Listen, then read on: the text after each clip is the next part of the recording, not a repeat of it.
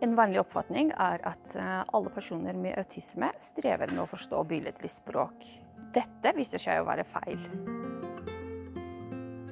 I dag er eh, logopediens dag, og i år er temaet autisme. Det å ikke kunne forstå et uttrykk som 'min søster er en sommerfugl', henger mer sammen med en persons språknivå enn dens diagnose. De som strever med å forstå billedlig språk, bør få logopedisk hjelp for å klare seg bedre i sosiale situasjoner.